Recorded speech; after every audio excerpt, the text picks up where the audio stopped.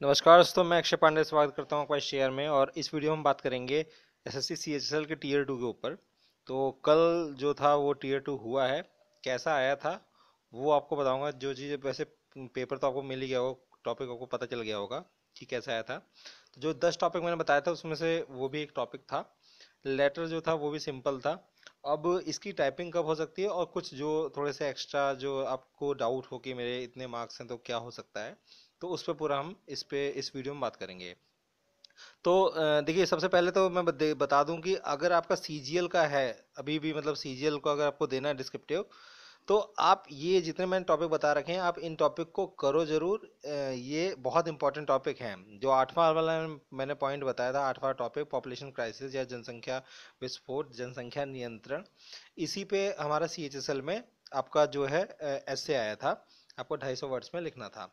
तो अगर वही है कि अगर पहले से आप प्रिपरेशन प्रिपरेशन करके जाओगे तो आपके पास थोड़ा सा डेटा होगा। तो आप उन डेटा को पिरो के लिखोगे तो और अच्छी इमेज बनेगी। तो ये सीजीएल के लिए आप इन सभी को एक बार फिर से कर लेना। मतलब एक एक कम से कम नोट्स तो बना लो। और अगर मेरे पास टाइम रहा तो फिर मैं एक बार कहूँगा अच्छा अगर आपको सोर्स चाहिए तो मैं वैसे भी कहूँगी, आपको सोर्स मैंने पिछले वीडियो में बताया था। आप वहाँ से भी देख सकते हैं कि काफ़ी कुछ मिल जाएगा आपको। राज्यसभा विशेष में भी आप कर सकते हैं और आप चाहें तो दृष्टि जो है, जो साइट है आईएस वाली, वहाँ से भी आपको हिंदी में बहुत कुछ मिल सकता है। इंग्लिश में तो आप बस सर्च करिए, कई आपको पेजेस मिल जाएँगे न्यूज़पेपर के आर्टिकल्स मिल जाएँगे, ठीक है? तो देखो तो आया था आपका जनसंख्या नियंत्रण पे, आपको उसमें लिखना था और जो लेटर आया था, वो लेटर आया था अपने छोटे भाई, जो नवीन छोटा भाई था और आप थे शिव मतलब ये इस नाम से और एड्रेस आपको दे रखा था, लोधी रोड वाला। तो आपको लिखना था एक लेटर जिसमें आपको बताना था कि मोबाइल का बहुत जो यूज़ कर रहे हैं जिससे टाइम वेस्ट हो रहा है, जितनी भी हानियाँ हो रही है मोबाइल का अत्यधिक यूज़ करने से तो वो वो चीज़ पे आया था लेटर मतलब ये भी बहुत ही ज़्यादा प्रिडिक्टेबल था कि ऐसे ही लेटर आते हैं। मतलब बहुत ही ज़्यादा जो हमारा लेटर जो है कि आप कहा जाता कि फॉर्मल लेटर वैसा उस, कुछ नहीं आया था सिंपल सा लेटर आया है। तो ये दोनों आपका था टॉपिक और मतलब जिन्होंने थोड़ी सी प्रिपरेशन कर रखी होगी तो वो ईजिली कर सकते हैं।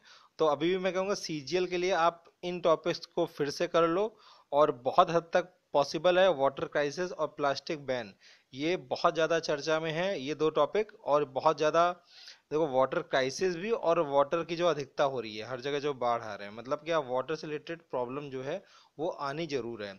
और प्लास्टिक बैन प्लास्टिक बैन देखो अभी जो आपका वहाँ पे संयुक्त राष्ट्र संघ में भी मोदी जी ने जो दिया था भाषण, उसमें भी प्लास्टिक बैन को यूज़ किया गया है मतलब उठाया है।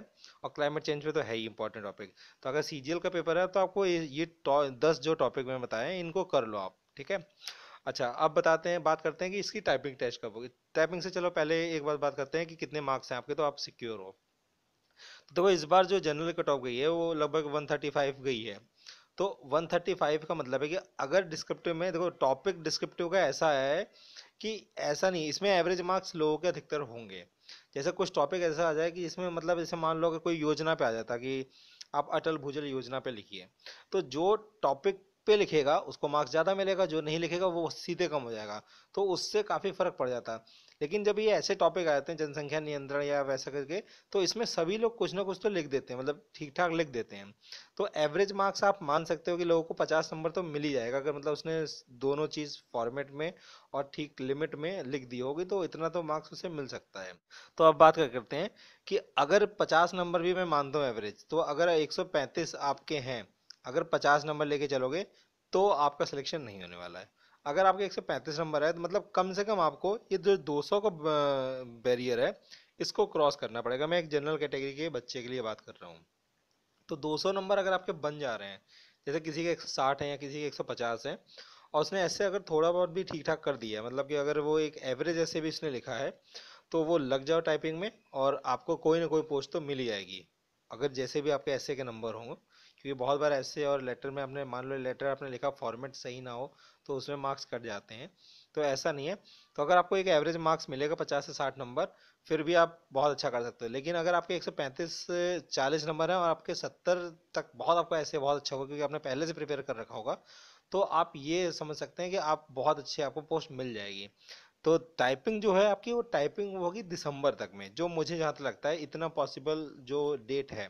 क्योंकि इससे पहले, अभी लगता नहीं है, क्योंकि पहले वो 2017 वालों का रिज़ल्ट मेरे ख्याल से अनाउंस करेंगे, उसके बाद ही होगा। वैसे इन दोनों कोई रिलेशन नहीं है, लेकिन फिर भी अभी बीच में डिस्क्रिप्टिव है, आपका सीजीएल का आ जाएगा, उसके बाद एमटीएस का भी डिस्क्रिप्टिव है, उसके बाद और प्रोसेस चलेगी सी के फ़िल्म एग्ज़ाम है। तो मुझे जहाँ तक लगता है कि अभी जो प्रोसेस है अभी इसको थोड़ा सा रोकेंगे और दिसंबर तक आपके पास टाइम है।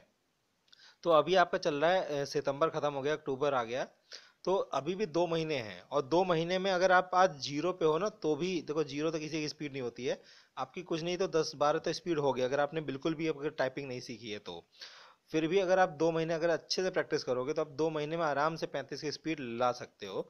बस आपको क्या करना है डेली आपको आ, मतलब टाइपिंग करनी है। आप कहीं कोचिंग लगा लो, भले वो कितने रुपए ले, क्योंकि अभी इस वक्त पैसे मत देखो, जॉब पक्की हो सकती है आपकी, ठीक है? क्योंकि टाइपिंग नहीं क्लियर होगी तो दिक्कत होगी। या तो अगर आपको घर पे अगर आप प्रैक्टिस कर सकते हो, देखो यही होता है, घर पे क्या है, डेली रूटीन नहीं बन पाता है। अगर आप इतने ज़्यादा फोकस्ड हो तो तो आप कर सकते हो घर पे। लेकिन अगर आप आप मतलब अगर टाइम को पास कर सकते हो, जैसे मतलब होता नहीं कि एक बिहेवियर होता है कि टालते रहते हैं। तो आप कोई कोई कोचिंग इंस्टीट्यूट ज्वाइन कर लो जहाँ पे वो टाइपिंग सिखाते हैं। तो सिखाना कुछ नहीं है, बस आपको वो बताएँगे, उसके बाद करना आपको ये सब। लेकिन ये कि एक डेली हैबिट बनी रहेगी, आपका पैसा जाता रहेगा, आप जाओगे, डेली क्लास करोगे और फिर वहाँ पे जब क्लास करोगे, दस लोग मिलेंगे, आपको उनसे कंपटीशन होगा। फिर वो हो सकता है आप घर पे भी आके फिर प्रैक्टिस करो। एक थोड़ा सा नशा टाइप का हो जाएगा। टाइपिंग का।